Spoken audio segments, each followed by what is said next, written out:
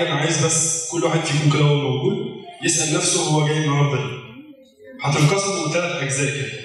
في ناس جاية عشان خاطر أصحابهم جايين وفي ناس تانية جايين يعني عشان نشوف الناس دي هتعمل إيه عشان نحاول نشوف يعني لو حد عمل حاجة كده مختلفة نقدر نستفيد منه. وفي واحد تالت جاي لهدف إن في حد صاحبه ده هو جاي جنبه وخلاص أنا بقى كانت بدايتي كده بالظبط. بدايتي كانت إيه؟ بدايتي كانت اللي أنا جبت في الثانوية العامة مجموع كبير شوية. لا كبير ولا صغير. أنا جبت 90% بس أيام أنا كانت اداب اعلام أو كلية اداب نفسها بتاخد من 75% واعلام كان بياخد من 93% فأنا زي اللي رقصوا على السلم كده. عايز تطلع فوق ولا انزل تحت. لا أنا عارف أدخل أداب عشان خاطر الناس هتقول بقى ده أكيد بيضحك علينا بالمجموع. ولا قادر أدخل إعلام. فده كان ال- الاختلاف اللي أنا أو ال- الصعوبات اللي أنا عديت بيها اللي أنا دلوقتي الناس هتقول إيه؟ فأنا واحد من الناس ما بيهمنيش بصراحة الناس هتقول إيه. فأنا قررت عشان أوصل اعلام لأن أنا كان هدفي من الأول اعلام إن أنا أدخل كلية الأداب قسم إعلام. ودي كانت البداية. البداية شوية مملة لكن اللي بعد كده امل من أكتر من البداية شوية. اللي بعد كده شوية أنت لما تدخل مجال الإعلام دوت لازم تزود ماده الإعلام. يعني لازم تيجي مثلا ثانية ثالثه كده تدخل في أي مجال. فلما تروح أي جريدة تقول لك أنت هتنزل متدرب. متدرب يا جماعة إيه مش تاخد فلوس. مفيش مشكلة ما عنديش مشكلة اخد فلوس. قد إيه؟ ما أعرفش بقى أنت. أنت وظروفك كده. رحت أول ما في ثالثه كلية كده رحت اداب آه، رحت آه، آه، الوقف قعدت سنة من غير ولا جنيه. ربنا كرمني وجيت بعد فترة كده بداوا كل يوم السابع يكلموني. أنا كان هدفي إن أنا أدخل يوم السابع وخلاص فرحت قلت أنا أول لما اشتغلت في الإعلام سألت نفسي سؤال إيه أهم حاجة الناس بتسألها وهي بتقرأ أي خبر؟ مين اللي قال لك الكلام ده؟ فمين اللي قال لك الكلام ده؟ أو أنت كراجل متوقع بتشوف حاجة زي كده بتبقى محتاج إن أنت تشوف فيديو عشان تتأكد إن الكلام ده حقيقي. أنا ما بقتنعش بصراحة أنا كصحفي حتى الآن ما بقتنعش باي خبر هقرأه كده وخلاص. وبدأت فعلا بحتة إن أنا أبدأ أوثق كل حاجة بعملها بالفيديو وده اللي خلى اليوم السابع يكلمني.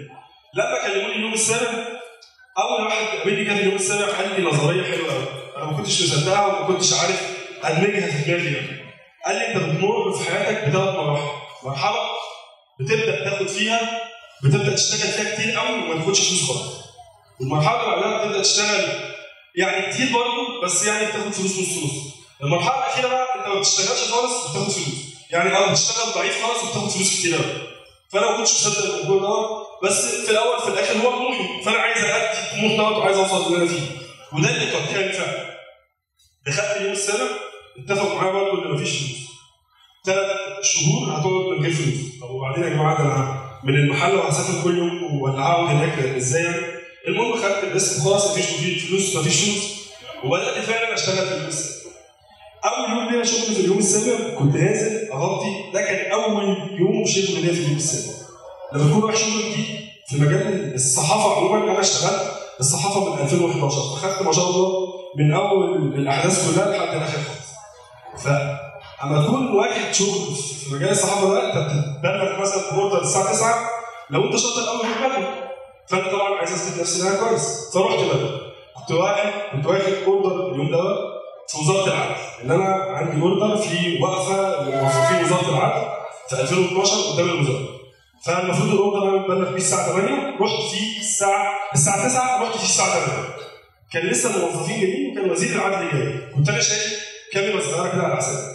الكاميرا الصغيره ديت أول لما دخل وزير العدل بدأ يحصل طبعا مناوشات ما بينه وما بين ال- الموظفين اللي موجودين وبدأ يزق الموظف الموظف حط إيده كده على باب الأسانسير عشان مش عايز يطلع فبدأ يزق الموظف من وشه أو يضرب الموظف في وشه كده.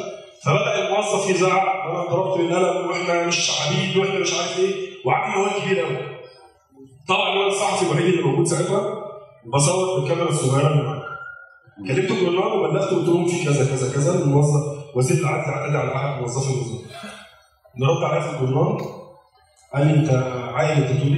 يعني هتتكلم على وزير العدل يعني الحقيقة؟ يعني الفيديو الخبر ده لو مش سليم أنت هتتحبس الصبح. فقلت لهم أنا واثق من اللي أنا بقوله يا جماعة صورت مع الموظف ضرب أو عمل حاجة فيه حاجة زي كده وقال لي أنا حصل كذا كذا كذا كذا.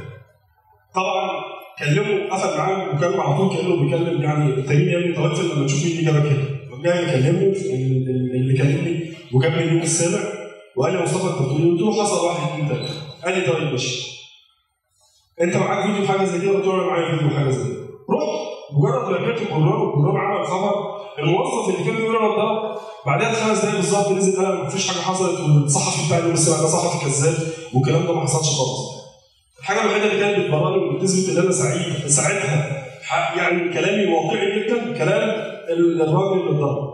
طلع قال في كل القراءات اللي هو ما اتضربش بس أنا معاه في الفيديو بتاعي لما كان لسه سخن وكان حماسي وكده كان بيقول والواقعة مسجلة معايا. فده اللي ساعتها خلى اليوم السابع قال لك إحنا عايزين نقول دوت وعايزين نطور صحافة الفيديو في الجزئية دي بالذات اللي كل الأخبار اللي عندنا تبدا تتنقل بالفيديو. طبعا الحمد لله ربنا كرم وكملت بس أنا من اول لما دخلت اليوم السابع وأنا مركز في المجال الرياضي. أنا حابب الكوره وحابب إن أنا أكون متواجد في المجال الرياضي وأعمل حاجة شوية تكون مختلفة. لأن في دايما في المجال العام كده يقول لك الحاجة الكاركتر تتشهر أكتر ما تروحش تجيب واحد ما تبقاش أنت الناس كلها بتطلع تعمل فيديوهات تحليل كورة على فيسبوك فأنت تطلع تعمل تحليل كورة. عملت إيه جديد؟ الناس استنت إيه جديد أو أنت عملت إيه؟ الناس جديد مفيش حاجة جديده اتعملت الفكرة إن أنت تقدم للناس حاجة جديدة والناس تتقبلها وتكون أنت مقدم للناس حاجة فعلا هي عايزاها وده اللي أنا كنت بدور عليه ساعة لما عملت برنامج ال talk show برنامج ال talk show شوية لأن أنا شايف إن معظم اللي موجودين يعني برنامج أكيد الموضوع مش قد كده في الكورة. برنامج ال talk show هو برنامج هو ما وراء الكواليس يعني إيه ما وراء الكواليس؟ يعني أنا حاليا أنا موجود في الملعب. في في الملعب بالظبط بتبقى أقل ملعب بيكون فيه 13 كاميرا تلفزيون. 13 كاميرا تلفزيون دول هم مسؤولين عن نقل الأحداث بتاع المباراة. أنا لو رحت جبت أي حاجة 13 ملعب 13 كاميرا بتصورها يبقى أنا ما عملتش أي حاجة وأبقى أنا صحفي سوري كده. ماليش في أي حاجة يعني. اللي أنا فكرت فيه أنا جيت في 2017 أنا من اول لما دخلت المجال كان الدوري طبعا في فترة الأحداث وبعدين بدأنا نكمل. بعد كده في أحداث طبعا شغالة الحمد لله أنا اشتغلت كل الأحداث اللي كانت في مصر. من أول الفضل لحد لما الدنيا هديت الحمد لله. فيعني الحمد لله كان ليا في كل الأقسام جزء منه. لكن بعد كده لما دخلت المجال الرياضي كان لازم أحط حاجة مختلفة شوية في مجال الكورة وهو موضوع الكواليس ده. في يوم من الأيام طبعا في كذا شخصية رياضية كده في مصر الناس بتسأل عليهم في أي حاجة. طبعا كابتن حسام حسن وإبراهيم حسن مستشار مرتضى منصور الناس دي كلها كده دايما لما بيعملوا أي حاجة بتلاقي كل متابعين الكورة بيسألهم عملوا إيه. فكنا في 2017 في ماتش ما بين المصري والزمالك وحصلت خناقة كبيرة جدا ما بين كابتن حسام وما بين يعني مشجعين الزمالك. كانت المشكلة كبيرة جدا وما كانش ساعتها في جمهور لأن الجمهور كان ممنوع من الحضور وإحنا بس الصحفيين اللي حاضرين. وقنوات التلفزيون ساعات ما بتركزش على الحاجات دي. فالناس كلها بدأت تسأل إيه اللي حصل. فاللي حصل ده أنا لو عرضت لك الفيديو أنت هتشوف الخناقه بس مش هتعرف إيه سبب الخناقه فده كان أول يوم أنا طلعت وقلت حصل واحد اثنين ثلاثة بعدين كنا قاعدين قعدة لطيفة كده ما بيني وما بين اصحابي في الجروب. فواحد صاحبي قال لي إيه رأيك نسمي برنامج الدوكش طبعا الدوكش بالنسبة لأي حد يعني اسم خطوه الصعيد يعني ما حدش يجي في باله هو حتة في الرياضه ولا ليها علاقه بالرياضه خالص ولا أي حاجة. بعد بالظبط ثلاث شهور من البرنامج الحمد لله بدات أركز على أهم حاجة بتتقال.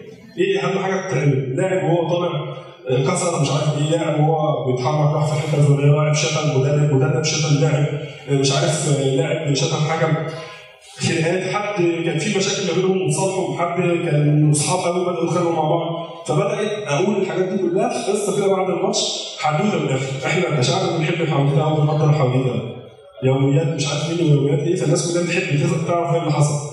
فأنا حبيت أعمل بقى مسؤوليات بقى في الماتشات. بس مش يوميات خالص مالهاش علاقة بالجمعيات خالص. هي عبارة عن ملخص اللي حصل. أو كويس اللي حصل بس اللي يعيد عن الماتش. ما بطلعش أي ماتش ولا بطلع أقول إن اللعيب ده كان كويس ولا اللعيب ده مش كويس.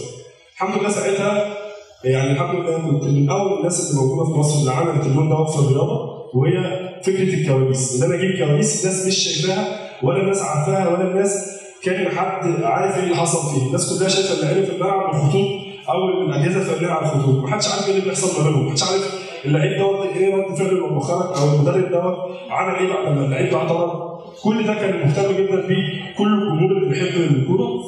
وبعديها الحمد لله من بعدها الحمد لله الحمد لله. كنت الحمد لله تعيد من مجلس أبو ظبي الرياضي عشان اغطي كأس العالم للأندية في أبو ظبي. وبعدين الحمد لله كنت في كأس العالم للأندية لقطر. والبطولة العربية اللي كانت في قطر. وبعدين الحمد لله أخيرا كان هو كأس العالم ده وهو حلم أي صحفي رياضي. بيشتغل رياضة. اكبر حدث رياضي أو أكبر حدث أنت تكون فيه هو كأس العالم. فالحمد لله ربنا كرمني كنت موجود فعلا في كأس العالم. الحمد لله الحمد لله يعني بدعوه من الفيفا والحمد لله ربنا قدرني. في الوقت اللي أنا كنت في كأس العالم فيه دوت ده بقى اللي كان برضه فترة. رغم إن كأس العالم لسه مختلف بس فرق معايا جدا. ليه؟ لأن أنا موجود في أكبر قناه رياضية في العالم وهي beIN Sport beIN Sport أكبر قناه رياضية أكبر قناه بتنقل الأحداث هناك فانا يا اما هعمل حاجة جديده يا اما هروح زي زي اي صحفي رايح وكاس العالم بيبقى فيه أكتر من خمس 6000 صحفي على مستوى العالم جايين فيا اما هقدر أجيب حاجة مختلفه عن الناس دي يا اما هيبقى زيي زي اي حد من الناس اللي جايين موجودين دول الحمد لله بعد تاني ماتش ليا في كاس العالم قدرت اخلي قناه كامله تغير كل خطتها في اللي هم كانوا بيعملوا إيه؟ كانوا مخليين الامير ال reaction امير وولاد الامير الوحاجه اللي بيجيبوه هي ال ال ال ال يعني الديوان الامير هم الوحيد اللي يصوروه هم الوحيد اللي يجيبوا الأكشن الامير بعد تاني حلقة ليا في ماتش المغرب كان في أكشن لاسره الأمير وولاده واحتفالهم بفوز المغرب. ودوت الأسرة الملكية في اثنين من ولاده شيروا الفيديو بتاعي باللوجو بتاعي عندهم على صفحه الانستجرام وده اللي خلى بيني سبورت غيرت وخصصت كاميرا مخصوصة للأمير عشان تكون موجودة معاه من بعد كل المباريات. الحاجة الأخيرة طبعا ما صدعتكم بالحواديت دي كلها. اللي أنا عايز أقولها لكم اللي أنت عمرك لما تيجي تنجح أنت لو جيت أي حد فيكم أنا بقول لك بكل صراحة لو فتحت أول فيديو اللي عملته في أول فيديو عملته في البوكش هتقول يا الراجل ده ما ينفعش يتكلم كويس خلينه يكلمني ما بتكلمش ومش عارف أتكلم وبتلجلج ومش عارف أقول أي حاجة. دلوقتي الحمد لله أنا عندي ماتش النهارده إن شاء الله الساعة 9 أتمنى إن أنتم تشوفوا البنات اللي بتشوفوا بتتفرج على كوره شوية. آه، هتشوفوا هت- هتحسوا ان انت فعلا انت الوحيد اللي قادر تدعم نفسك. أصحابك مع كامل احترامي للاصحاب والقرايب والناس دي كلها محدش بيدعم حد ومحدش هيسقف لك ولا حد هيدعمك ولا حد هيقف جنبك إلا بعد ما تنجح طول ما أنت لسه بتاخد خطوة خطوة كده في بداية نجاحك مش هتلاقي حد واقف معاك مش هتلاقي حد بيسقف لك مش هتلاقي حد بيدعمك كل أنت يقول لك أنت بتعمل إيه يا شوف لك شغلانة ثانية شوف لك مش عارف إيه انت هتفضل تفحت كده وما بتاخدش فلوس. بس هيجي وقت فعلا لو أنت كنت مؤمن باللي انت عايزه أو كنت مؤمن باللي انت عايز تحققه هتنجح فيه وهتحقق فيه كتير جدا وهتقدر توصل فيه لأبعد خطوة انت ممكن تتوقعها. وفعلا مش عيب قوي ان انت تكون في البداية لسه بتتعلم. العيب ان انت تكون منتظر إن حد يساعدك. النفسانه سواء في الشغل أو في الكلية أو في مش عارف إيه موجودة وهتلاقيها. بس طول ما أنت ماشي جنب الحيطه انت مش موجود ومحدش يتكلم عليك طول ما انت بتحاول تسعى وبتحاول تاخد التجربة الصح دي هي هتكون بداية نجاح أي حد فينا. بصراحة في الاخير كده أنا عايز أقول رسالة معينة. ال- الصحافة مش تشهير الصحافة مش مش مش استعراض قوه الصحافة مش ابتزاز. آه، أنا ما بقتنعش إن أنا ممكن أكون بجيب كواليس فعشان الكواليس دي الكواليس دي ممكن تكون فيها حتة إنسانية كده ممكن تغير مجالي أنا كصحفي. يعني أنا صورت أكتر من فيديو. الفيديوهات دي لو اتعرضت للناس أنا واثق إن مفيش حد في مصر مش هيتكلم عليها. بس عمري ما عرضها لأن دي بتتنافى مع أخلاقيات. أنا ممكن أنا شغلتي كصحفي دلوقتي اللي أنا أجيب لاعب ممكن يكون اعتراض ممكن يكون غلطان بس في حاجات بتحصل ساعات كده في ارضيه الملعب ممكن لاعب مثلا يتلفظ لفظ لشخصية لو اللفظ ده اتسمع اتسمع من الجمهور أو من الشخصية ده ممكن يتاذى جدا. فأنا مش شايف إن الصحافة اللي أنا صورت مثلا شخص سوري يعني في علاقة أنا بره أنا ماليش علاقات ماليش ماليش يعني ماليش ماليش فيه لاعب سهران مع واحدة سهران مع واحد دي مش بتاعي. أنا ليا في الملعب. التراك اللي أنا جواه. حصل فيه حاجة خلاص حريتي الشخصية زي ما أنا بقى شايف إن أنا أي حد لازم يحترمها لازم أنا أحترم كل حريات الشخصيات والناس. الصحافة بتنقل فكرة مش عارف مين اغتصب مين ومين عامل إيه. أنا عمري في حياتي ما شفت إن دي صحافة خالص. الصحافه هي نقل الخبر وتنوير للمجتمع. أنا أقدر إزاي أفيدك في حاجة فعلا تقدر بيها تبني بيها نفسك؟ مش إزاي إن أنا أقدر آخد ريتش على حساب الناس وإزاي أنا أقدر أعلي المشاهدات؟ الحمد لله أنا بقالي بالظبط سبع سنين آه، في برنامج الدوش. عمري في حياتي ما طلعت آه، قلت رأيي الشخصي في لاعب ولا مدرب ولا أي حاجة على صفحتي الشخصيه صفحتي الشخصيه ديت هي أنا ليا أنا بس. أكتب فيها أو أرفع فيها ال- ال- الشغل بتاعي. لكن في الأول والآخر الصحافة بتحفظ حقوق وبتحفظ حقوقك أي كلام غير كده عن الصحافة أو أي كلام أو أي نقل الاخبار بالتعلق بحياه الأصحاب دي مش صحافة خالص. أنا صدعتكم وأتمنى إن أنا أكون يعني فدتكم بأي حاجة. Boksu Gürtel'in bulduğu için